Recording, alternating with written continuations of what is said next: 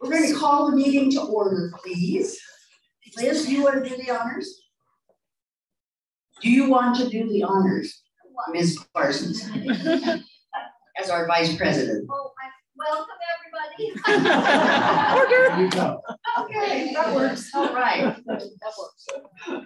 We just had an interesting meal, and I just wanted to tell you that our speaker, Arthur Dawson, and his wife, Jill, have a family member rock climbing in Yosemite at this very moment. Oh, and um, so she's going to be checking in.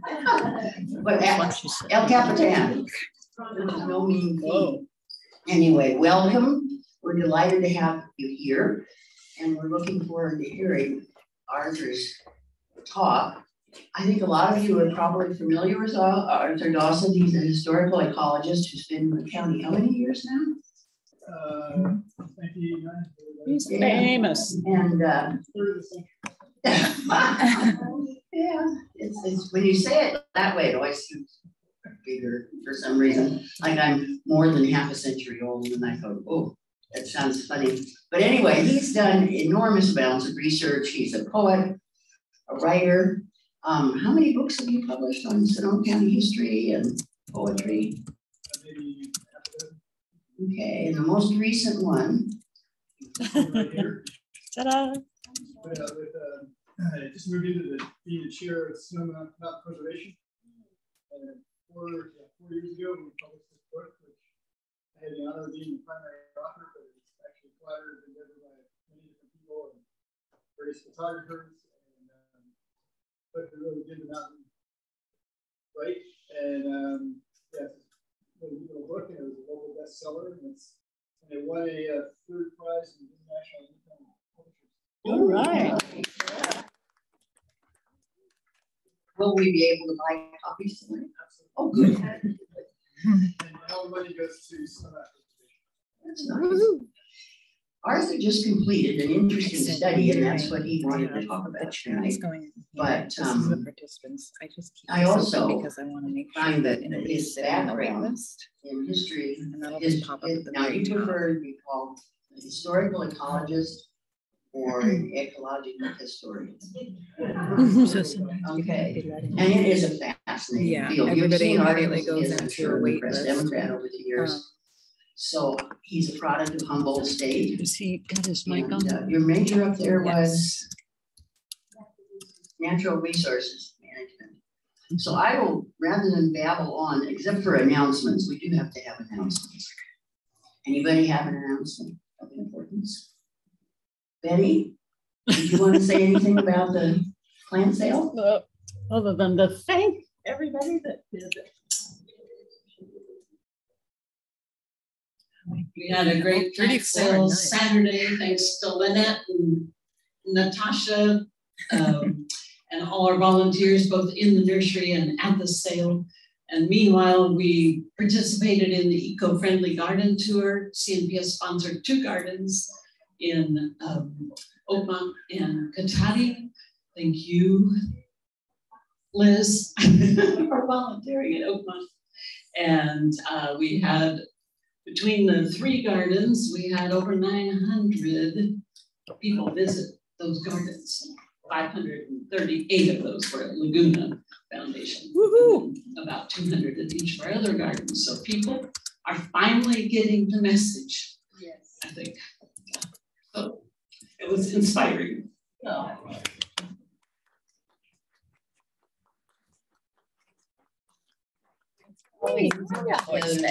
Thanks for always using your voice. And land sale, it's an enormous amount of work. And uh, certainly could be lauded for it. Arthur, it's your turn.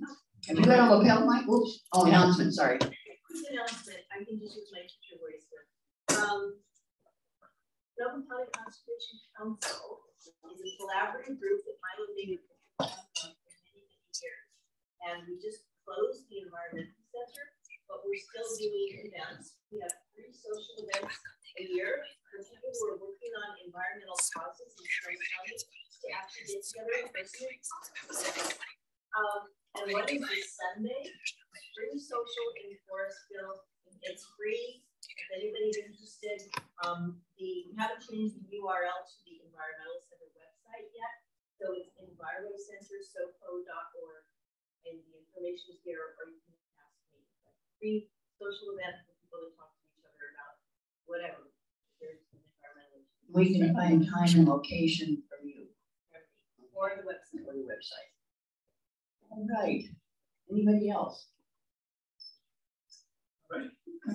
Thank you. Let me turn on my, uh, Mic here, See and, it. uh, am I, have, have my position for the camera? Can't see Yeah. here. I think you're good. Good, Can I go, how far can I go? About the width of the table. the- Yes. Okay, Yeah. Good, that's good. Well, thank you for having me. Thank you, Virginia, and, and thank you to the Native Plant Society for having me here. Um, Yeah, I'm excited to share a project that uh, took about three years to complete. And um, this, we just put this out uh, about two weeks ago. Uh, It's still being reviewed by CAL FIRE, but um, biggest, most complicated project I've ever done. It's like I just got out of grad school. Um, but I haven't put together, that's my name yet, but um, so I got to work with um, Pepperwood as a partner and also uh, Mark Tukman, if you know the Sonoma Veg Map, he was one of the main uh, movers with that, and also uh, Dr. Jim Thorne from UC Davis. Um, so we had a good group to do this with. And, and of course, thank you to CAL FIRE for seeing uh, the value of this project, because it was a little think, outside of what they maybe normally would have funded. Uh, Historical ecology is still a little bit of a, a fringe uh, field, I would say, but gaining popularity. Let's see, if I find it. Oh, sure, yeah. Uh, where's the right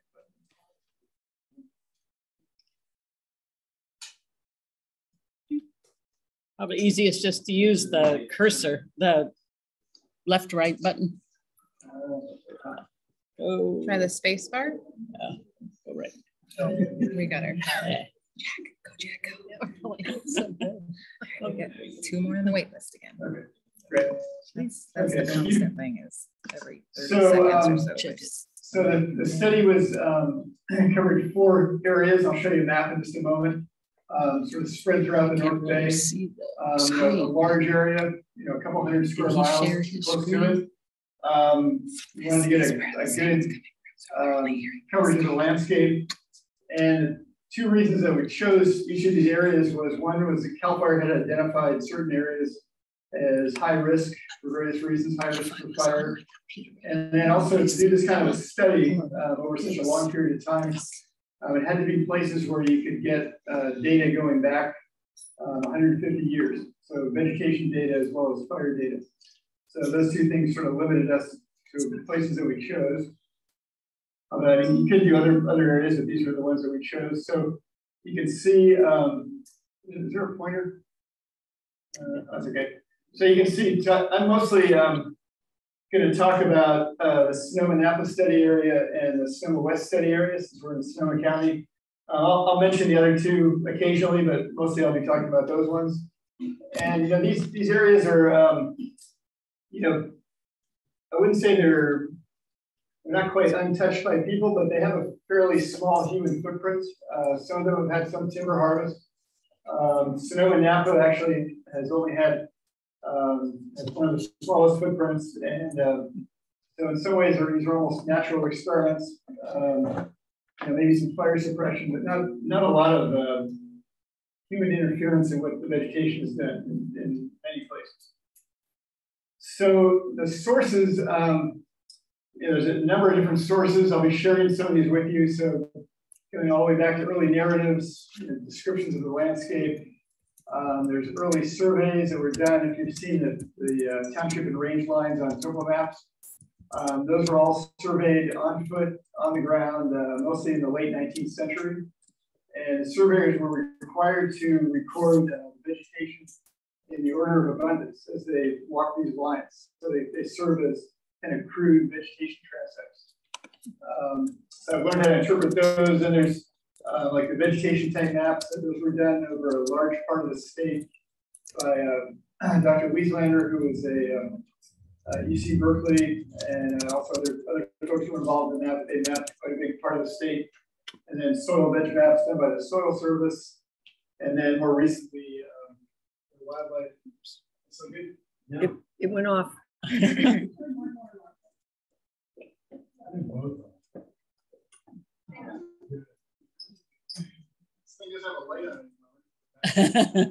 oh, yeah. Do you have batteries?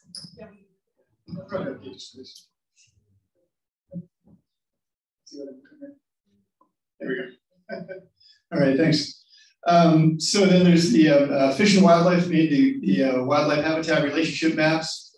And then more recently, um, we had the Sonoma Veg map done by the county and a number of uh, other agencies and organizations. And then over in Napa, they had a similar map done in 2016. So it's a whole um, it's a whole long history of vegetation mapping, um, and I'll, I'll, explain a little bit how, how you go about bringing these things into alignment. And then um, the fire history depends on the CAL FIRE perimeters, which go back about 70 years, 80 years at this point. And then before that, you have to go back to early narrative accounts and use the information there to, to draw uh, perimeters, which, which can be done. I've worked out some techniques for that. But kind of going through the middle of all of this, kind of the, the continuous record really is um, some people call it traditional ecological knowledge. I mean, that's a, that's a fine term, but I find it, it feels a little bit, um, sounds a little academic to me. I like indigenous wisdom uh, better. I think it captures a little more of, um, of what the knowledge really is about uh, because it doesn't really just stop within the ecological uh, field. It goes beyond into human relationships and um, so I, I, prefer indigenous wisdom. And I also included a little bit of uh, local knowledge, which is, doesn't go as deep as the indigenous knowledge, but um, you know, I've talked to people whose families got here, you know, 150 years ago. So I've got some um, some local knowledge just from that, which is similar to indigenous knowledge, but just not quite as deep.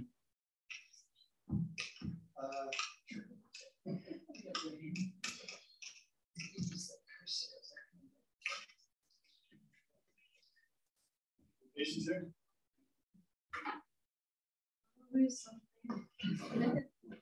Technology, isn't it great?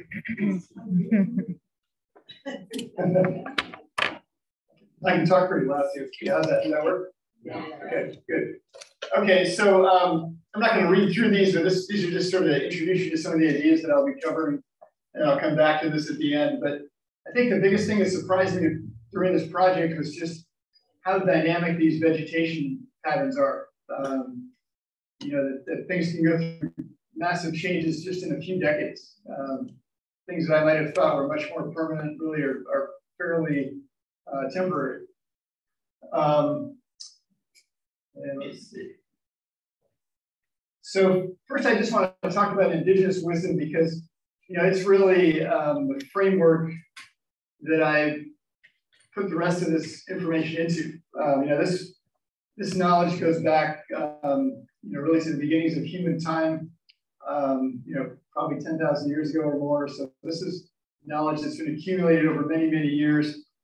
And I talked to several indigenous elders, uh, not as many as I would have liked to, but I, I did uh, have some really good conversations with, with, several people.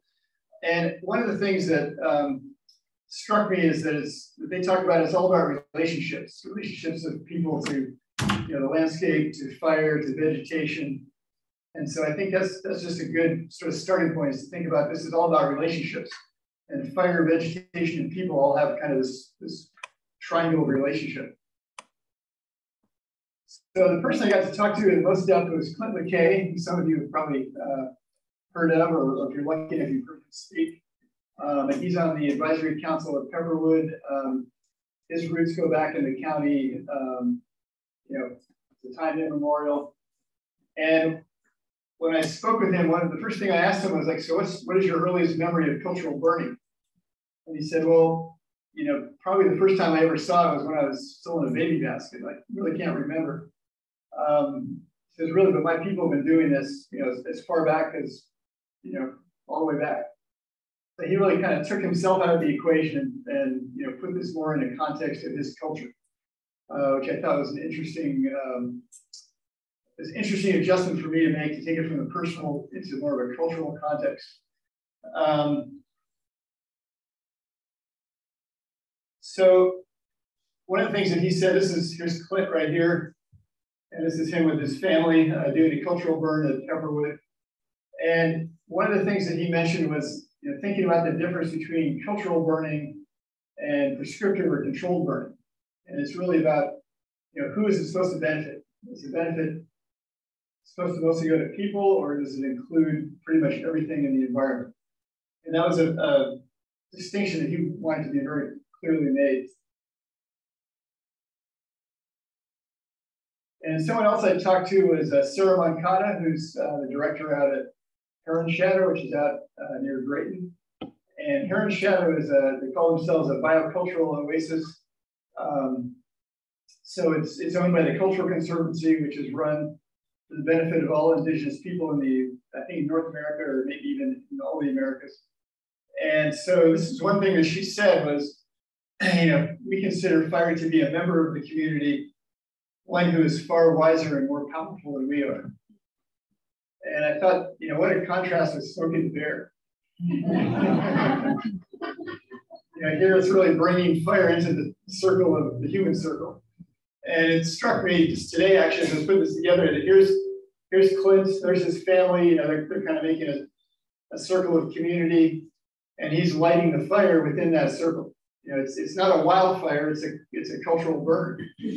And just that whole concept that you know fire is something wild that we have to control, um, you know, that's there are, there are other ways to think about it. So these are some some insights that I got from speaking with indigenous folks. And again, I'm not going to read through all these, but um, you know, I, I'm not.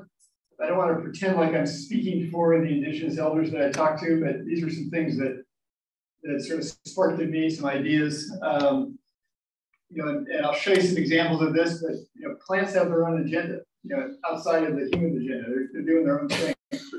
And I'll show you how Douglas fir really demonstrates this. Um, you know, it's important to be humble because you know we're just limited beings. We're not, you know, we don't really have control over everything. And we may like to think we do, but reality, we we don't have control. Uh, the best we can hope for is to think about what what is our role in the landscape what's the proper role for people. Um, and, um, and then just one more to mention here, this long-term thinking creates generational wealth. Um, Clint talked about um, how his people managed or tended black oaks on a 200 or 300 year cycle. So they would always have, you know, acorns as their favorite uh, acorn tree. And you have to imagine like, like tending a tree and knowing that your great great grandchildren are going to benefit from that who you'll probably never meet. Um, it just made me think that that really is a form of generational wealth that was being created. And I think, um, in a sense, what we're seeing right now with the, all the devastation of the fires is almost like generational poverty or generational disaster that's, that's happening. So a whole different way of, of thinking about things. And then this is the third person I talked to. Um, this is uh, Redbird Willie, who's also out at Heron Shadow. And when I showed him the maps from this project, he said, you know, well, that's how the land looks when it's not being tended properly. Which, you know, I didn't take it personally, but it kind of set me back like, wow, I've done all this work, you know, put in a couple years on this project, and really all I'm doing is just kind of documenting how poorly the land has been treated over the last 150 years.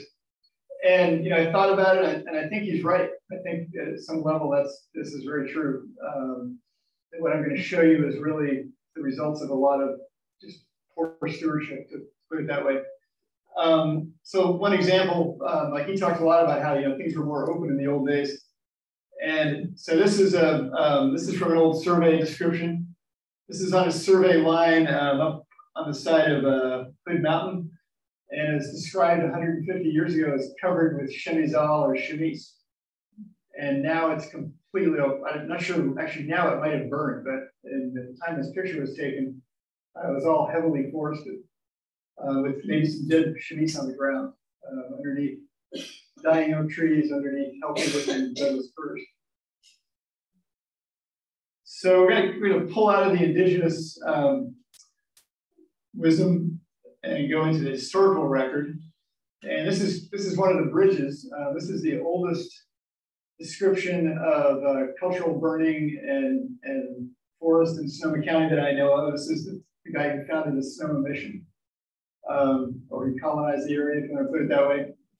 And um, and interesting that he, he's noticing the cultural burning going on, although he doesn't really think of it that way. And then he also is describing what the effect was of that cultural burning, which was to keep the place, you know, pretty open, and not not so brushy as we have it today. So these are some of the questions that um, the study looked at, you know, looking at, at patterns of fire and vegetation. Um, you know, there, how can we explain some of these fire patterns? Um, what are the things that might have a bearing on that? Um, you know, what are the relationships between fire, vegetation, and people, and how those changed over time? Um, and then if we have a chance, I'll see how the time goes. If we have a chance, I'll, I'll get into uh, there might be a tipping point uh, for catastrophic fire that we can identify in the vegetation patterns. And then of course the whole the whole purpose of this is to see if we can you know live if we can tend the land, land better and um, you know, improve ecological health and also make it a, a place that you know we can be safer in the long run. so vegetation data. Um, one of the things I mentioned how there's you know, this long stretch of vegetation data. You know, it's collected by different people at different times. You know, it, in some ways it seems like it's this big sort of mishmash, but um, one piece of advice I got early on was to, to take everything and kind of filter it into the three main categories in the manual is the California vegetation. So you've got you know, grasslands or herbaceous, you've got shrublands, and you've got forest or woodland. And as it turns out, you can take all the data that I use going back 150 years and it, and it all filters through into these categories. Uh, pretty, I wouldn't say easily necessarily, but you can do it. Um, and then there's a couple others that come up as you look at the data. There's also you know, human categories like roads and fields, things like that. And then sometimes there's water or bare rock, which don't qualify as vegetation. But, um, but even those early surveyors in the 1860s and 1870s, survey manuals told them to record the vegetation in the order of abundance, which is the same way the, um, the Wieslander maps were made, the same way the soil vegetation maps were made, the same way that the manual of California vegetation is, you know, still classifying these vegetation um, patterns. So, you know, in some ways, this is kind of a plant taxonomy dumbed down to uh, the most basic level. You got the short stuff, you got the medium-sized stuff, and you got the tall stuff. so uh, I'll show you this. Um, so this is the uh, Sonoma-Napa study area. Um, you can't quite see it, but Glen Ellen is a little bit off here to the west. Um, Oakville is up there to the northeast. And these are the early survey lines. So like on this one right here, these and this uh, uh, legend will hold true throughout all the slides I'm going to show you. So grasslands yellow, uh, shrub is orange, woodland can either be blue for hardwood or green for conifer, and then the human footprint is red, and then there's not a whole lot of other, but that, that'll be great. So in this case, like surveyor walked this line, and at the end of it, they wrote down something to the effect of like mostly only chaparral. Like pretty clearly, that's that's what it was. You know, it might have been a tree here and there, but pretty much that was only chaparral. Uh, blue, they would have been describing hardwoods. Um, you know, if they walked through somebody's field, that was a that was a red, these little red bits. What, Um, of legend, what kind of area is that representing? Um, this is about uh, close to 50 square miles. So each, yeah, as far as scale, uh, each one of these is a, a square mile, like you would see on a topo map. So, okay, so that's 1872. Let's go ahead 60 years. and this is what we get in 60 years. And one thing that surprised me in that first map was to see all this chaparral over here. This is the, uh, the east side of the ridge, so it's, it's cooler and moister than the west side of the ridge. And yet in 1872, there's all that chaparral over there, which um, a little surprising. Um, but if you go ahead 60 years, there's still quite a bit of chaparral in that area. And of course, here there's there's tons and tons of chaparral. Um, and I'll show you partly why that is in a few minutes. And then as you go forward another 60 years, you get the, the woodlands moving into the chaparral, and the chaparral declining, and then you come just 10 years ago or less, uh, you know, it's, it's turning into mostly forest. Of course, a large portion of this burned in 2017. So um, this is not the most recent map, but and this is just another way to look at it. You can see the um, the pie graphs, and you can just kind of see like what happens the chaparral sort of closes up, almost like a clock, and the, the woodland expands. So uh, the other place I'm going to focus on is, is over in called Sonoma West. Um, this is Guerneville is right about here. So this is kind of northeast of Guerneville. If you happen to know the area, so the Russian River is right here. Uh, Mount Jackson is up there in this, this uh, chaparral area. Um, and this 1867 really is before there had been significant logging in this area. There have been some, but the trains hadn't arrived yet. Uh, you know, they hadn't done a whole lot of logging. So you can see where the, the redwood forest is pretty much where um, all the green is here, and there's some hardwoods. And surprisingly, there was chaparral within about a mile, mile and a half where the redwoods were, just up in the hills, not that far. So, um, unfortunately, got to go almost 100 years for the next vegetation map. So, in between this time, the trains came in, extensive logging happened between about 1875 and 1915. Um, and then, of course, there's, you know, uh, vacationers started coming, you know, building all kinds of resorts. And so the last logging was, last extensive logging was about 1915. So by the time you get here, you're at least 50 years post logging. And notice how that whole area that had been logged is now turned into hardwoods. And then, uh, then you go ahead another uh, 28 years and, and the hardwoods are starting to fill in with conifers. And then another 20 years, even more conifers. And the, uh, the chaparral in the upper part of, there is mostly disappearing just like it did uh, over in the, the, first place I showed you. Can I ask a question? Uh, there used to be a lot of sheep ranches around, that sort of thing. Would that, uh, on the far right, is that Santa Rosa or is that following the river or how far over? on the Uh, so east this side, is, how far um, does that go? yeah, this doesn't go into the Santa Rosa Valley. This is, Guerneville is right here. Okay.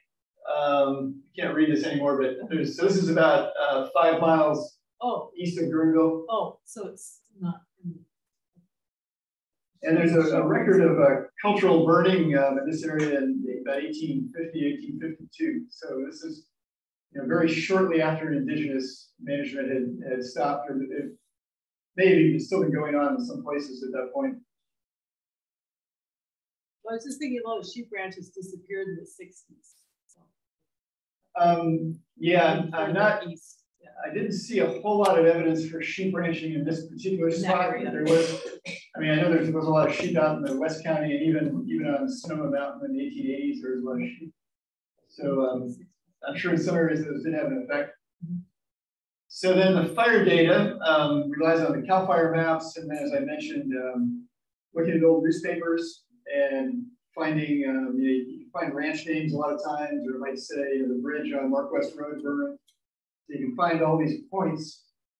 And then often they would also give a size, like, you know, 3,000 acres burned and so-and-so lost a ranch, it almost got this ranch. And, and so you can draw a perimeter around it. And then, um, I, so that's the way you kind of um, give each one of these perimeters a confidence level. So, you know, it's not perfect, but it, but it gives you some sense of how accurate uh, these, these fire perimeters are. So, so taking all that, all that data and putting it into, uh, into this map. So this shows, so the darker the blue, the more fires have happened in that, those locations. And you can see even on this relatively small landscape, and we're, we're back to the area that's just east of uh, Glen. Um, so some places here have burned seven times in the last 150 years. Um, I, I don't recommend buying a house on Cavedale Road. um, and um, yeah, Glen Oaks and Bouverie Preserve are right up, up here, I think. So um, some of you probably know parts of this area pretty well. Um, so I'll explain more about the frequent burn zone in a little bit. And then there's also a rare burn zone where there's no record of fire. Um, not, you know, just two, three miles away from the frequent burn zone, there's places have no record of fire at all. And then this is back over by Guerneville. And again, there's an area uh, that's demarked as the frequent burn zone. Uh, it hasn't burned quite as often as the area near, near Glen Ellen, but still three to five fires uh, in the last 120 years.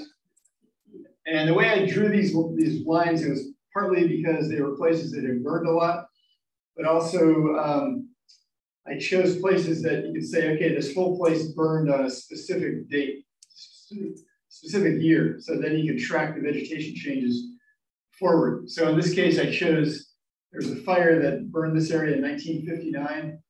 So then you can track the vegetation changes forward and see what happens in these in the frequent burn zone as you go forward. So then bring them together. And this is that same area. So here we have a map just six years after that 1959 fire. There's a lot of chaparral at that point in time. Uh, come ahead another 30 years and uh, oops. So 47% shrub is now down to only 17% shrub just from the passage of time. Filled in with forest and then you go ahead another 20 years and the shrub is down to 7%. So just a very small portion um, of shrub has survived, you know, that those 54 years. That's filling in with trees. And this, this is the dynamic nature that I was talking about. Um, and you can see over on the right, there's a graph that just shows, um, you know, the, the conifers are a little slow to get started after a fire, but then they take off and they eventually outcompete the hardwoods. Yeah, uh yeah. And then here's the one over by Glen Ellen. Uh, it's the same thing, nine years after a fire. Uh, it's mostly 73% shrub. And then you go ahead to 29 years post-fire and you're down to 27% shrub. And then 20 years later, 49 years post-fire, you're only 13% shrub. So the, the woodland again is just really you know, taken over. Uh, it's 80% woodland. And this is, um, you folks, some of you may know of a secret pasture. It's the land trust property that's right there. So it's just outside the frequent burn zone, but it's still burned uh, several times in the last 150 years. And I was lucky enough to be up there in 2014. And um, you know, one of the things I asked um, I asked Clint was, so how often did you burn the chaparral? And he didn't he wouldn't say. And he said, well, I, I just kind of watch it, and, when it feels like it's time to burn, I burn it. um, know, so I don't go by the calendar. Kind of refused to, to give me, you know, years and dates and. Um, but being up here at Secret Pasture, you know, 50 years after the last fire, I could just feel that this landscape wanted to burn. I mean, it was it was so ready to burn. I mean, this is, I'm sure they never let it go 50 years in the old days. Um, or another way to think of it, this is three years before the fire. so like check out, okay, this is chamise right here. This is really this overgrown chamise. Uh, you got Douglas firs that are coming up you know, through the chaparral, just like you saw on the maps. Chaparral is turning into woodland. Um, that's bay right there. I never thought of bay as being a chaparral plant, but it can start out in the chaparral and then become the forest. Um, that's probably manzanita right there. But um, and then if you know about knobcone pine, you know they, they hold the, the cone very tightly with their resin and it has to heat up to I forget how much, something like 600, 800 degrees for the cone to open up, and then the seeds are scattered onto ground that's been burned, so there's very little competition, and so they're they're well adapted to this. Uh, in fact, they pine really needs to burn. It doesn't, they don't live more than 60 or 80 years usually, so they need fire to regenerate.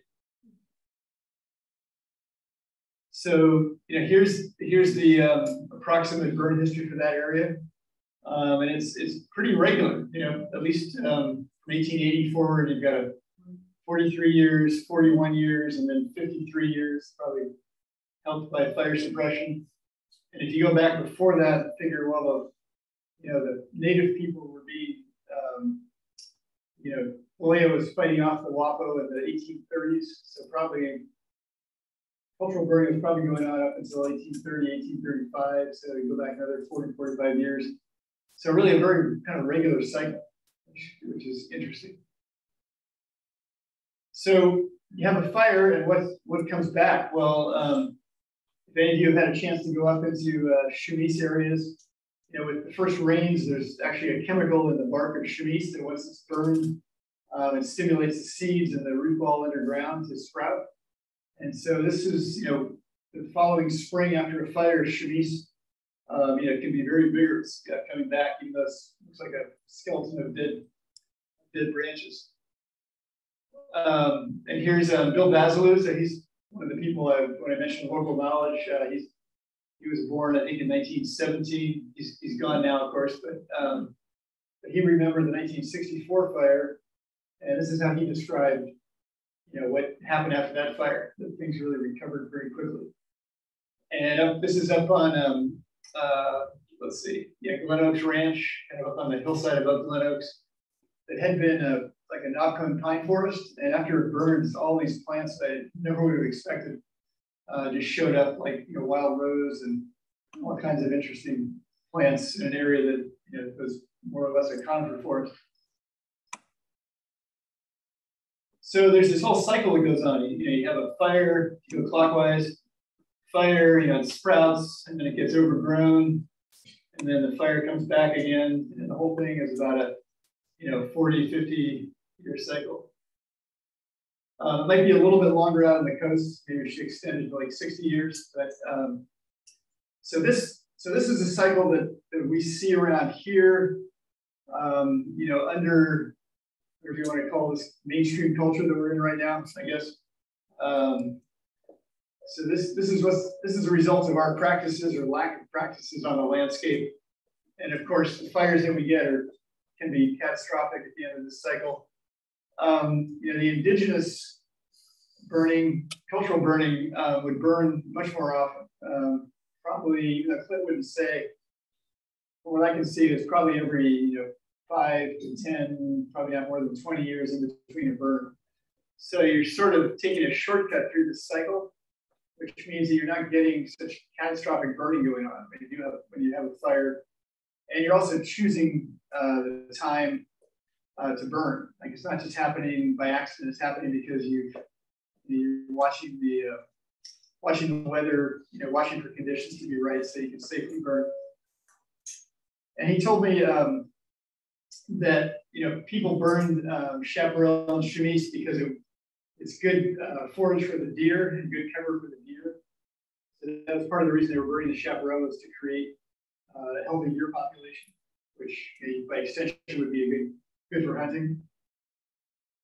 But it was a very, um, way he described it is very, very fine scale burning. You know, everybody was burning the stuff that they were actually going to use or that they were like hunters would be burning the chaparral, basket makers were burning the sedge beds. You know, um, it was it was very fine scale. So one of the interesting things that Clint told me that it was able to really make a bridge between like what he was telling me and the, the historical data, he said in the old days when we used to burn from the bottom of the hill up, it would burn up to the top of the hill. And the top of a ridge is kind of a natural fire break. And that's where most of the Douglas fir were, were up on the high on the ridges. They didn't, they didn't grow down lower because they would be burning up and the saplings would get usually would get burned before they got very far. So I thought, let's see how that looks in the historical record. And sure enough, um, so you can see there's the range, the range of Douglas fir. This is on the, the east and the west side of the, of the area east of Glen Ellen. So here's on the west side, the Douglas fir have a fairly limited uh, elevation range. On the east side, it was bigger because it is cooler and moisture over there. And then over time, uh, just kind of expanded out, you know, moved up and up and down the mountain. You know, a little bit, also moved a little bit higher. Um, and I'm not sure exactly why that is, but um, but mostly, you know, it seems to seems to move downhill. Um, now this one looks kind of bizarre, but um, so back in the 1860s, there were Douglas fir over at the, this is by Guerneville. There were Douglas fir there, but there were only maybe 1% of the landscape, very, very small amount of Douglas fir. And then, um, and then the logging happened, which mostly wiped out the redwoods. But then um, you know, in 19, post 1960, um, just seems to have been a real surge of Douglas fir, which uh, has shown up other places too. So it seems to be rel relatively recent that it really just shut up. There's been changes, but it seems like it really, something happened, uh, you know, mid to late 20th century. So here's a time lapse of Douglas fir. Again, we're, we're east of Glen Ellen here. So we'll start with the old surveys. And just like Clint said, most of the Douglas fir are up high in the ridges. There's a few, these are individual trees, and these are survey lines that were described as, as being Douglas fir. Then you move ahead 60 years, and the Douglas fir expanding and moving down slope. And another 60 years, and they've really moved down slope a lot. And then 20 more years, uh, even more expanded. So one of the questions that when I see this, I start thinking of, so what is Douglas fir replacing? So let's, let's, so what are we gonna do? One of the neat things about GIS you can do is you can, you can sort of highlight all the Douglas fir on this map. And then you can take it to an earlier map and say clip, and it'll clip everything within these dark green polygons, and you'll see what is inside those polygons in the past. So, so here's the early surveys. Um, and of course, these were just lines and dots. These weren't full-on polygons. And you can see a lot of it was chaparral, uh, a little bit was hardwood. 1932, still lots of chaparral, uh, quite a bit of hardwood, and a little bit of Douglas fir coming in. And then by 1993, it's mostly Douglas fir, but some hardwood and a little bit of chaparral. And by 2013, it's all Douglas fir. So, um, so those are the kind of, and, and if you look on the ground when you're out in a Douglas fir forest, you can sometimes see evidence of these changes dead chaparral and dying oak trees. we'll attest to this on the ground. Yeah.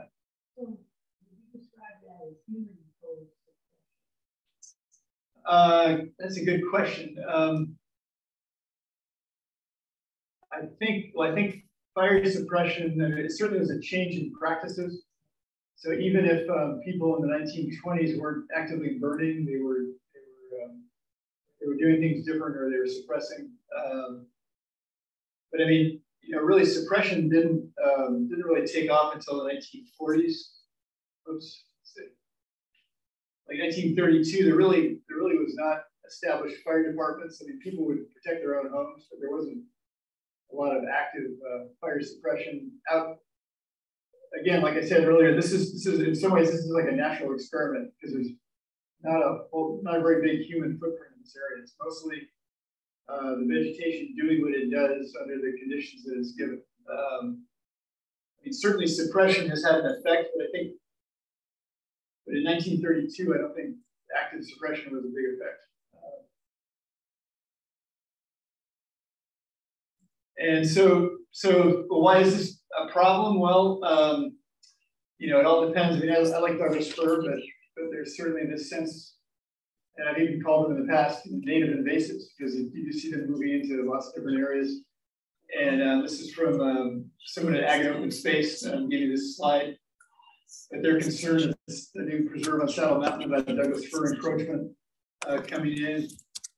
Um, and then also places during the glass fire that had uh, a lot of Douglas fir. Uh, you see this, look at this poor oak tree here. This oak tree was in the middle of all these young Douglas fir saplings and, um, you know, pretty much just toast because, you know, it got so hot in those areas. So, um, you know, Douglas fir, I think, when I was talking about balance before, I think this is part of the balance that uh, the indigenous people were, were working towards was to keep things at a certain level. You know, in this case, the Douglas fir is kind of coming in. They've got their own agenda. It's one way to think about this. Like, you know, we didn't. I don't think we. I don't think any Douglas fir were planted up in the uh, in the uh, above Glen Ellen. That's just natural Douglas fir expansion. Um, and so they're kind of while we're doing our human thing down here, they're doing their tree thing up there. Uh, almost like a parallel world. Whoops, that's not what I meant to do. Okay. And Art, overall, are we just losing the chaparral? Um, well, that's a good question. So uh, up until about October 7th, 2017, I would have said yes. um, but, well, this was really interesting. So you know, when, I first saw that map of the east of Glen Ellen that showed in 1932 showed all that chaparral, and I know that area. I mean, I drive by it every single day, and I go, how, how could that possibly be so much chaparral? These guys must have been lazy and they just didn't map it very well. Well, sure enough, after the 2017 fire, that's now mostly turned back into chaparral. And so it's starting this whole cycle again, I think, you know, another, give it 30 or 40 years and it will be, uh, if we don't, if we don't change the way we're treating it, it'll probably end up being the same situation. Um, so, you know, one thing that we might want to think about, because, well, let me, let me go ahead here a little bit. Uh, and this is interesting. This is this is over 100 years ago. This was the first native California to write uh, her autobiography. This is up further north, so it's, it is a different environment. But she's talking about the same thing about the Douglas fir encroaching, and that they were burning. And even with burning, the Douglas fir was encroaching.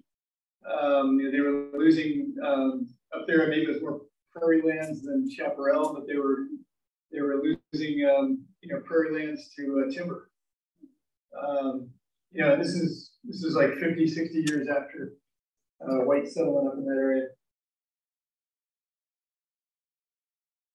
So um, yeah, this is going back to that early slide. Um, you know, we've seen how dynamic these changes can be. Um, you know, and the most fire-prone places seem to be the places that where the vegetation changes most rapidly. Um, you know, these frequent burn zones are where you get these cycles of you know, a few decades going from mostly shrub to mostly trees, just in maybe, you know, 30 years. Um, I didn't go into California Bay, but California Bay has also expanded. Uh, in those early surveys, um, you very rarely uh, find mention of bay trees. I mean, they're here, but they're just not, they're not much of a presence in the early surveys. And, um, you know, now we have tons of bay. And I'm not sure what that does for fire hazard, but I have a feeling it probably, if anything, it probably increases fire hazard. And if um, I can stop here, or if people are interested in uh, looking at catastrophic fire for yeah. Uh, There's a question off of Zoom saying, why is Napa an exception? Uh, good question. That's what we're not get into that. But, so I, the, the, the, basic answer is I don't know, but um, but the cycles in Napa seem to seem to be, if they're even happening at all, they seem to be going very slowly. So very, very slow vegetation change, um, possibly because uh, Napa burned in 1965, 1981, um, um, and 2017. So maybe maybe the fires have been coming more rapidly, and maybe that's preventing the establishment of woodland. That's my best guess. Or the geology and the soils are different um, or some combination of all those things. Um, Napa is a little bit drier than Sonoma, so it could be there's there's some um, some place in between the two where the, there's just not enough rainfall to sustain you know more forest. But microclimates, yeah. I mean, it's interesting because on the on the east side of so there's the Sonoma Napa area, and on the east side of that we've been looking at um, there's plenty of Douglas fir and woodland in that area now. Um, and you can go like five miles away into the Napa study area, and there's very few uh, trees, very few, also Douglas fir. Um, so yes, it's, it's kind of a conundrum, but I'm yeah curious to look into it more. So this is just a question that I asked myself after looking at all this. Well, how, how would the land look if it was well tended? you know, if, if, you accept that premise that maybe the land hasn't been well tended, then you know, what are we what are we aiming for? Um, and I don't have you know I don't have a real answer other than maybe we need to think more about cycles and working with these cycles that are going on, um, and maybe being willing to accept. Um, you know, I don't think there's a huge fan base for chaparral out there. I mean, probably an exception is this group, but you know. but I think if people said, if we said, you know, let's let's turn the landscape back into 50% chaparral, I think there would be a lot of complaining. So, um, but I think it's a good, thing just to try to get your head around a little bit, like what, what would it feel like to have a little different mix of forest and chaparral? And, and I'll give you some good reasons we might want to consider that. so before I get there, let's here's my appreciation slide. Um, this is just a, a partial list. Um, but uh, yeah, lots and lots of people and lots and lots of organizations, um, both for this project and uh, the projects over the years that have kind of built toward being able to do this kind of work because it's taken many years to just figure out how to how to work with all this data, how to how to um, you know, compare apples to oranges and make them all apples. so there's my contact info if anybody wants it. I'll have to give it to you after the show. So let me just go briefly into this uh, because to me this is one of the most interesting parts is this this addendum here because this was something that um, sort of came up during the research. So thinking about a tipping point, um, but one thing that I noticed was when you when you plot the size of these fires over time, um, you have these fires that are quite a bit bigger than anything else.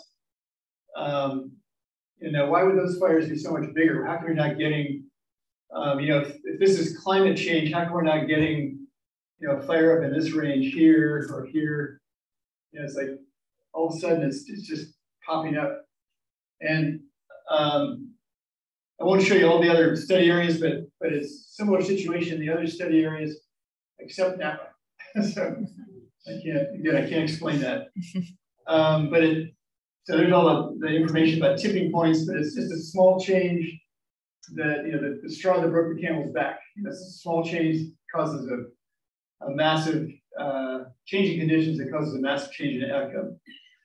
So if you start thinking about the possible tipping points for fire, um, there's some uh, some researchers have put out um, this idea of the 30-30-30 rule, which is if you have uh, winds over 30 kilometers per hour, 18 miles per hour, um, temperatures over 30 degrees Celsius, and um, humidity below 30%, that those are the conditions in which you can which you get extreme fire behavior.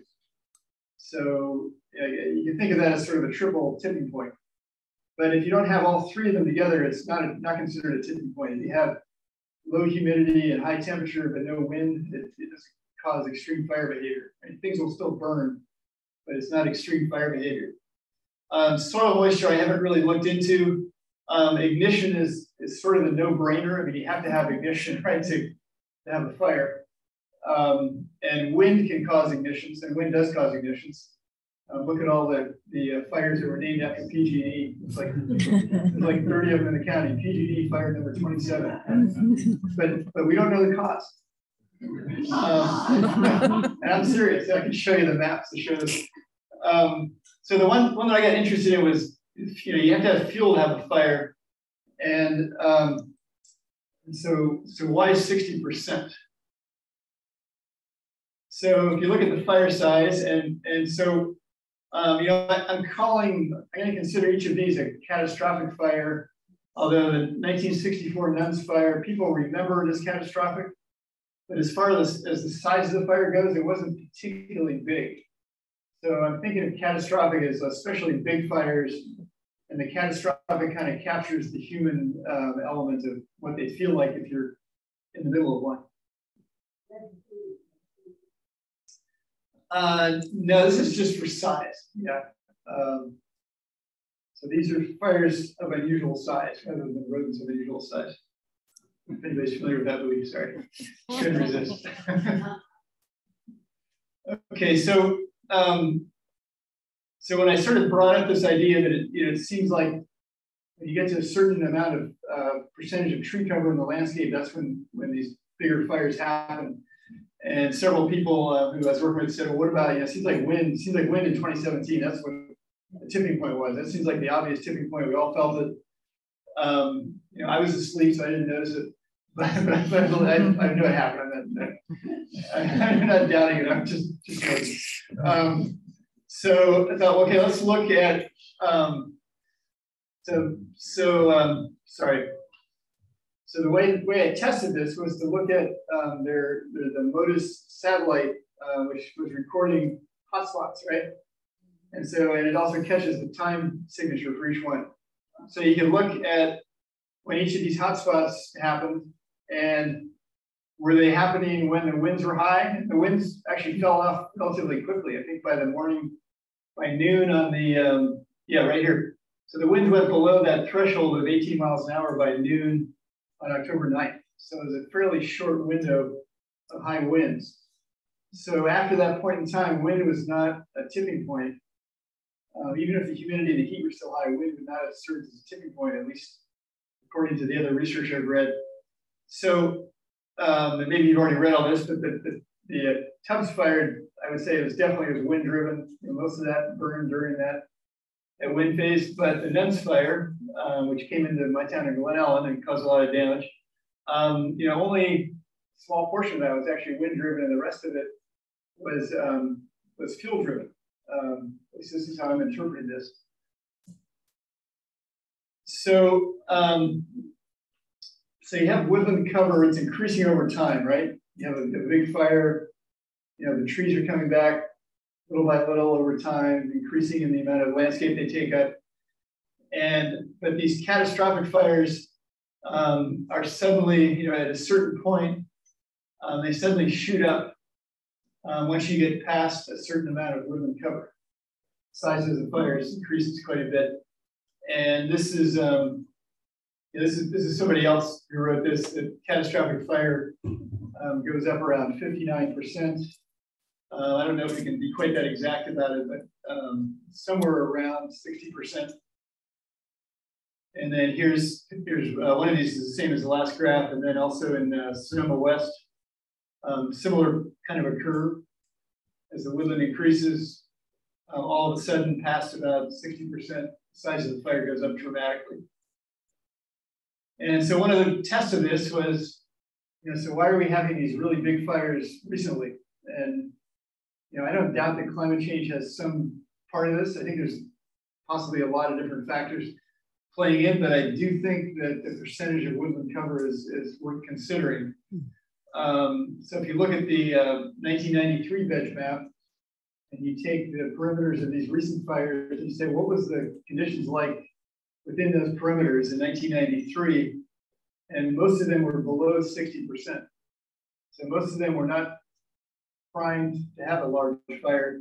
And by 2017, 2000, 2015 to 2020, they'd all moved into this more than 60% range. And suddenly we're getting these huge fires. So uh, here's a, and then there's, you can go online and this is kind of a fun thing to play with. This is a percolation theory. This is a wildfire, very simple wildfire model. So you can plug in how dense do you want your forest? Okay, 55% of these cells have trees and you hit go and only 4% of this forest burns. Then you go up to, um, then you up it to 59% and you get 36% burning. And these, this comes out a little differently every time, but um, but this is the basic idea. Go up to 60, it suddenly goes from 36% to 77%. Mm. Just that 1%, it's a tipping point, right? It's suddenly, boom, it's much bigger. And then, um, and then here's, if you go to 69%, which is more or less conditions during the Tubbs fire, um, you get a fire that wipes out almost everything. You know, it burns the whole area. Um, or the, or I should say the Tubbs fire, the Nuns fire, which is a fuel-driven fire, um, covers a very large area. So, yeah, like I said, these all seem to hold except for Napa. and so, I mean, what this says to me, I, mean, I think certainly this needs more study, but it suggests to me that if, you know, if there's just a small change in the in the woodland cover, it can make that big of a difference in how big a fire gets then the amount of um, you know uh, fuel reduction um, might be relatively small. Or the other thing I think of is like we just had these really big fires. You know, these areas just burned. If we can just keep those areas, you know, with less by doing prescriptive burning or even cultural burning, if we can keep the woodland covered below that threshold, then they're unlikely to have these huge catastrophic fires again. They're still going to burn, um, you know, one way or the other, but they're not going to be these catastrophic fires. That's my that's my uh, optimistic take on all this.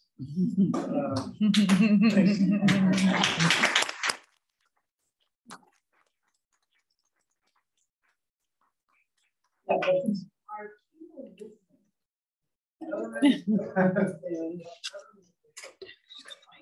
Um, I think, well, we'll, we'll find out. If, um, I mean, this just finished up a couple weeks ago, so. Um, but when I gave this webinar back in March, uh, one of the CAL FIRE people was there. Um, I just had a really good conversation with Ben Nichols, who's CAL FIRE. Uh, he's out in the West County. Um, so he's really interested in this. He, and I showed him what the stuff, and he's, you know, he thinks it's, you know, um, thinks it's very plausible what this is suggesting. So. Can you repeat? Yeah, yeah. We're still we're still waiting to kind of hear back from Cal FIRE. They might ask us to make you some adjustments in it, but um, yeah, it'll it'll be out. Yeah. Can we ask you to use the mic, please, or? You gotta give her the mic. Oh, okay, yeah. No, sorry. Can Right, you take the mic to her, industry? Karen? Well, you would hope so, but there's a lot of money to be made out there.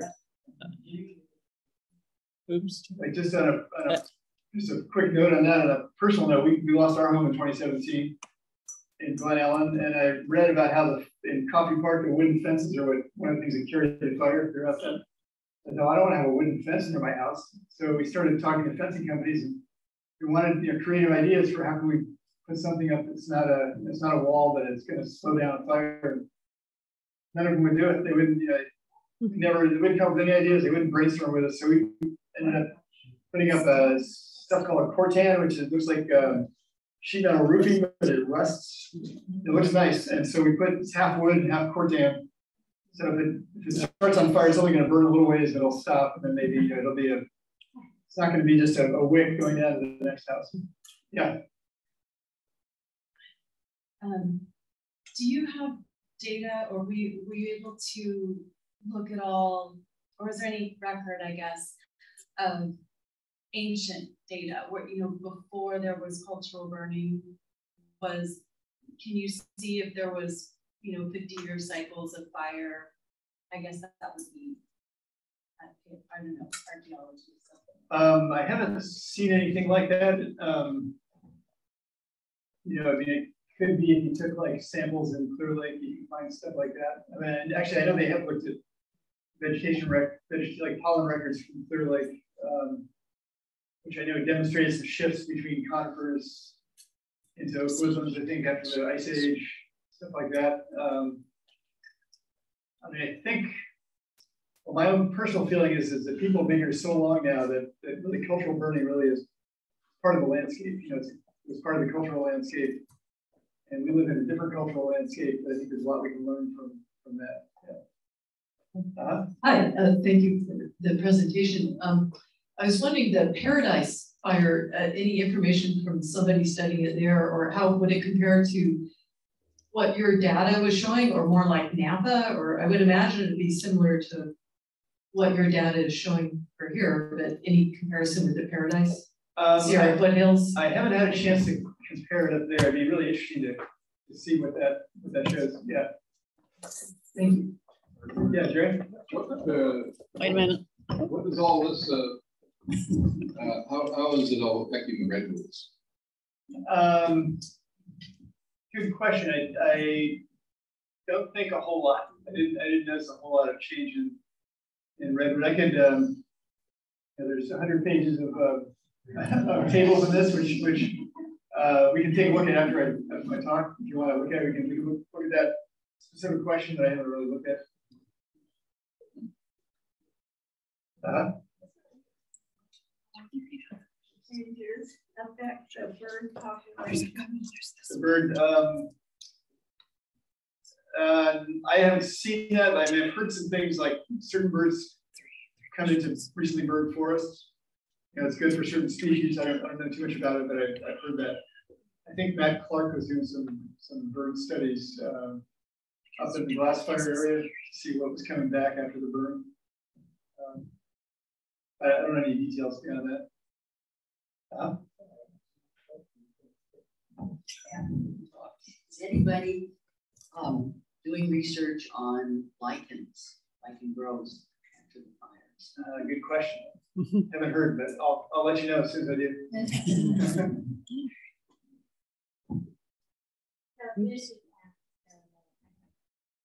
Um, when, when we were in Pinnacle National Park recently, we were there with about botanist and he was talking about the ladder fuel the, on the huge, huge valley of their big, big oak.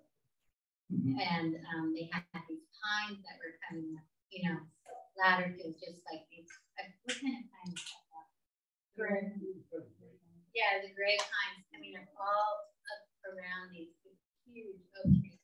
And just the same thing he was saying, if there's a fire came on, those folks would be toast because, you know, they would, the times would serve as ladder fuel. Well, can you imagine a national park if they start cutting them down, what people would do? Yeah. So it's like we're so far away from thinking the right way because they should take those down, you know, but I we logged the public's reaction. We it's logged pine at Hawks Hill in Golden Gate National Parks. It just so I, you know, like what you're doing is really important. I mean, I, I think, um, I mean, you make a really good point, and I think, you know, it's, it's definitely a, a big lift for the public, for some of these things, but I think, well, I'll tell you one little story. Uh, uh, out at Heron Shadow, which they're they're managing it um, both you know, using indigenous techniques and also you know more mainstream techniques like they have an orchard and things like that. But they had a cultural burn at, at Heron Shadow, and there's only a seven acre parcel. And so they went in very slowly and they, they talked to all their neighbors and they, they told them what was going on and they got all the right permits. And um, and then on the day they were going to burn, uh, they invited all the neighbors to come watch. And so, um, you know, it sounds scary, but actually, you know, the, the way they described it actually was, was, a fun event because like they were giving kids little, you know, pine cones that were lit on fire and they could chuck them in the grass. which is uh, an adolescent boy's dream, right? so, um, so I think it's going to happen. It's going to be very slowly as people have to experience it. And when I mentioned indigenous wisdom includes more than just ecology, like that's that's acknowledging that teenage boys in particular like to play with fire and finding an outlet that you know that is constructive. You know, so so it's like it's it's serving you know everybody. Um, that's why I like indigenous wisdom. You know, as a, as We've got our next question uh -huh. um, on Zoom. It's but if the climate were cooler, more humid, you could have 100% woods and no catastrophic fires. So isn't this largely a function of climate change? Well, I, I won't pretend to have a definitive answer to that, but I guess, you know, what I'm seeing is, is that I'm not, at least right here, I didn't see tipping point, um, you know, from, from temperature from just temperature and humidity, which are two things that climate change changes. And you have the wind in, then you've got a tipping point. So um, uh, let's see. I mean, I think, well, if you look at the percolation model, you could have a, if you didn't fight it, you could have a fire that would, that would just um, you know, burn through a, a whole area. Um, so that's, I know if that sounds, that sounds good. It's a little wishy-washy, but yeah, yeah. best I can do. Um, We've got another question. Um, I think of Chaparral as fire prone or even more than woodlands and forest. Southern California has equally large and devastating fires purely in Chaparral. So not sure the transition to woodlands and forest equals higher intensity fires. Um, yeah, you know, this comes up uh, and I, well, one thing is, you know, Southern California is a different place than Sonoma County. So I don't think, you know, people tend to equate them, but I just think just because they're both chaparral, I don't think they're equivalent. And I know there's a lot of concern that in Southern California, you see type conversion from chaparral to grassland. And I have not seen that yet in the in the record. You know, there's there's not a lot of grassland up here, and it doesn't seem to fluctuate very much up and down. So um, um, yeah, I mean, Chaparral can burn pretty hot, but it's also, as far as the amount of biomass, I, you know, compared to a tree, it's not that much. So I think the overall scheme of things, it's not as it's not as devastating of a fire. Uh, yeah. One more question on you, and then we'll switch back to okay, Yeah. Um, I'd like to think that the threshold level tipping point would be sensitive to plant dryness and moisture stress during periods of drought a high level of forest cover that is not a tipping point before might well be more susceptible? Uh, I got the question right. Um, well, so, you know, one thing I, put myself on a a little bit here. I think one thing is we, you know, we're all thinking climate change. So we assume that climate change is the thing that's causing these fires. And it, it may well have a, a big role. I'm not going to doubt that. But at the same time, you know, climate's changing over time, but the woodland is also increasing over time. So it's something else that's increasing. So, so um, I think it's possible that it's the change in woodland that's the tipping point as opposed to the change in you know, the, the climate change um, element, or at least at least it's I mean it's complicated, I'm sure, but but um, but there's an interesting paper by um, I can show you the exact citation, but somebody named Beverly uh, up in Canada who looked at like 100 million acres and looked at what burned in that 100 million acres and what didn't burn over a number of years. And she came up with the same 60% number. Is it? Um, as I understand it, they had like a kind of a grid, and if if you were in a place that had like, you know, it was only rating it by things that were burnable. Wasn't looking at anything else. It was looking at temperature or anything else. But if it was, if you were surrounded by 60% of burnable stuff, then the chances of burning were were way higher. And if it wasn't, if you didn't have that, then um, you probably wouldn't burn. And it was, I'm not saying it very, uh, very articulately, but um, so it seemed like somebody else had sort of come to this uh, at least tentative conclusion that maybe it's the amount of woodland that's actually driving some of these, the size of these fires.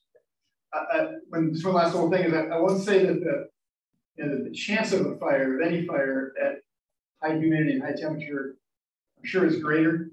But the chance, we're talking about big catastrophic fires. We're not talking about any fire, we're just talking about a big fire. Like what's the tipping point for a big catastrophic fire? Uh, I, I, just wanted to make a quick comment to what was said earlier about would the public accept uh, more open uh, view vistas rather than woodlands. And I was wondering if anybody else had an impression of what happened in Yellowstone after the, the fire there, the before and the after. Uh, I, I think many of the public enjoyed the more open vistas in Yellowstone after their fire. So I, I don't think it's necessarily we have to assume that the public would be horrified by uh, um, measured burn policies. Uh, people might really appreciate it and prefer. Just a comment. Yeah, I think if they understand it, might make them safer in the long run too. Yeah. yeah. Is there some theory or explanation about why the conifers are regenerating like and extending like this instead of the chaparral regenerating? Uh, I haven't, I have, you know, I, I mean, I have actually haven't, I've done a lot of, a lot of literature search and I have not found, I mean, somebody must have looked into this, but I haven't found any studies that, that look at this cycle and look at chaparral turning, turning into woodland, I, you know.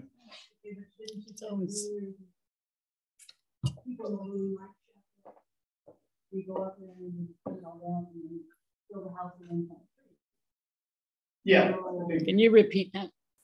Um, yeah, so she, so she was saying that people don't really like chaparral, and so they cut it down and they build a house and plant trees. Is that right? Yeah. So maybe chaparral is at a disadvantage. The overall speed. I think it needs a good PR plan.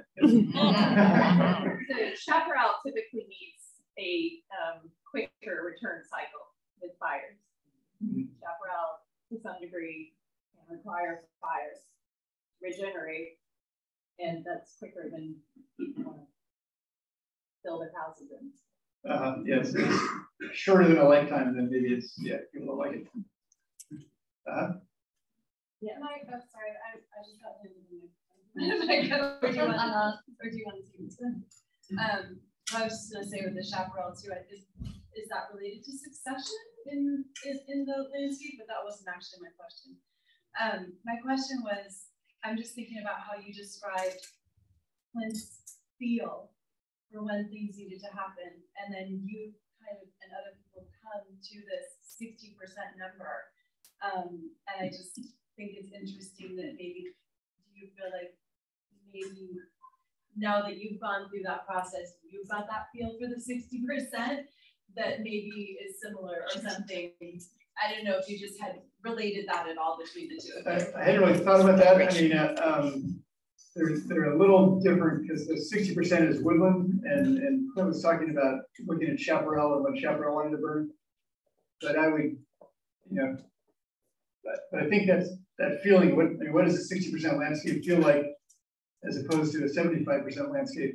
I think that probably would be a good thing to cultivate. So what I was going to say about chaparral and Doug fir is my understanding is that one of the reasons that the Native people did burn in our region so frequently was to keep the Doug fir at bay mm -hmm. and keep, because the chaparral would keep, keep, you know, would stay there. And the oaks, the other things, you know, again, low intensity fires, frequent, moderately frequent burns. Whereas in Southern California, you don't have that pressure from the Doug fir and frequent burning of chaparral is actually harmful. Mm-hmm. It should burn on a much longer cycle. It's from my, my understanding from the Chaparral Institute. And what I experienced going through the Bel Air fire in the middle of Santa Monica Mountains when I was a kid is that it was a very mature chaparral and it rebounded pretty amazingly. Mm-hmm. How much of a problem is the uh, expansion of brooms that come from places like Lucky and Broome very hot? And uh, were a large problem a few years ago in the coastal fire. Uh, it burned and burned that they couldn't put out at all. They just had to let it go. Well, in the areas I looked at, there was uh, that was never there was no mapping that showed broom. You know, there were no. So you know, I'm not saying it wasn't there, but it wasn't big enough. You know, if it was under an acre, probably it wouldn't have shown up on any of the maps they used. Um, so I tend to think as far as as far as an exotic plant, it's a problem, but as far as fire danger in general, I mean, there's some room up the hill for me. I should probably think about this. but uh, uh, on a big scale, I don't think it's a big well, specifically, I was thinking about the Bodega fire, Bodega Bay fire. Uh, went and went, and they they couldn't deal with it. Yeah. And just how how expansive is that problem? Is it growing? Uh, I, I didn't really look at that. Uh, you know, I, I, had to kind of limit myself to just the areas that I was, just the study areas and whatever the data. You know, I was I was really kind of piggybacking on a whole bunch of other people that had created these maps and these surveys. Um, so you know, um, and there probably isn't historic data for rooms along the coast because they weren't there. Probably not. Yeah, yeah but that's a good, I mean, that's, you know, some of these exotic plants are eucalyptus, you know, those, those do show up on some of these maps, you know, small areas. You can see eucalyptus. I think we have a couple more Zoom questions. All right, there's there's a few more. I could state them all, or I could do one at a time, whichever you prefer. Uh, whatever you think would work. Yeah, okay. This next one is a really, really wonderful. They're all wonderful. Um, how do we support more historical uh, ecological work? Um, and how can we all better incorporate historical ecological methods into our conservation and restoration work? Um, that's a good question. you know, there's a few of us around. Um, so, uh, um, which could you show that now that we have the yeah. lights on and a good view while you're in front of the camera?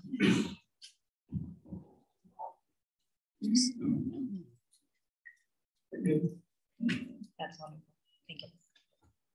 So this is, um, I mean, this is, well, it's definitely has historical ecology in it, but it's also a lot of other other things uh, about Sonoma Mountain.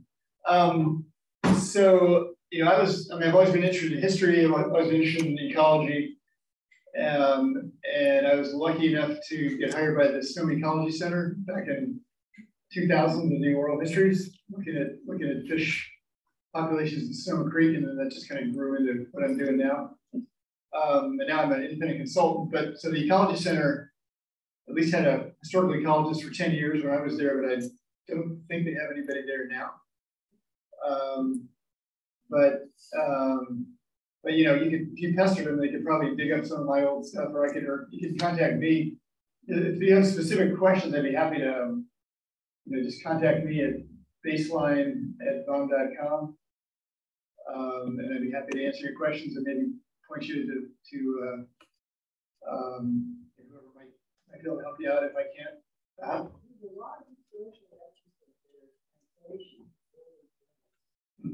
Repeat the question, please. Mine. Um, um, there's a lot of translations in early journals. So, Early journals. and Yeah. The, and there's things you can buy, publications. The Journey of Pedro Fages, who's one of the first explorers in the Bay Area. Mhm. And a lot of these, these translations contain descriptions of burning and the Bay Area being very smoky Mhm. at different times because they were burning marshes, they were burning woodlands. It's just, it's fascinating stuff, but it's out there and I'm sure you've used it. I, I haven't actually looked at that source. I'd be interested to, to see. Yeah, well, there's that book I told you about, the, Uh, the California's fading wildflowers. yeah. Uh, And that has some good translations. yes.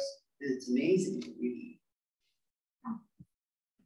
It's been it's been fun just to, to uh, you know to watch the transitions around Glen Ellen. You know what, what's come back after the fire. Yeah. I think I meant to hire you one of these days. Is there another question from Zoom?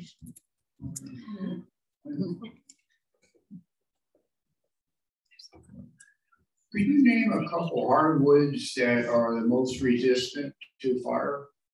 Um, yeah, coast live oak seems to do pretty well. Coast live oak. Okay. Um, I don't think what else. Um, I think. Yeah, I'm tempted to say madrone, but I'm not really sure. I'm kind of curious because I've always wanted to do some vegetation mapping on my little ranch. And I, I have a variety of oak trees and uh, just kind of curious. Uh, but I do have several scrub oak and, you know, valley oak, black oak, you know. Um, so, okay, thank you. And I think, um, yeah, the best thing to do would be probably to think about like ladder fuels and what's keep them safe from, from fire or figure out what's a good configuration so that you don't have a lot of fuel close together. Um, on our property, we lost a number of oak trees, but one valley oak did survive in the backyard. It's got a big burn scar going up it, but it's it's doing okay. You know, it's putting out leaves every year. And, uh, I think maybe thriving because of the fire, because all those nutrients are going back into the soil. Any other uh, Zoom questions? Nope. Uh, thank you.